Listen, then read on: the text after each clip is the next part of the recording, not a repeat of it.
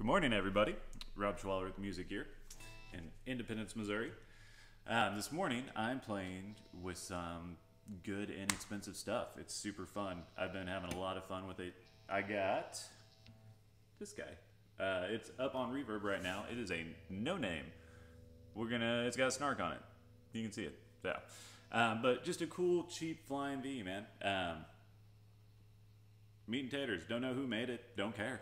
Super fun to play. Uh, the action is set probably you know medium height with some 11s, and the electronics are all good. Nice sound humbuckers. So, um, really, what I wanted to do is I got really excited because we got this little Audition 110, and it freaking rips. So. Uh, this is going to be the reverb post for, or reverb demo for both of these, because I'm going to list that up for sale as well. But you can hear, just needs a little more bass.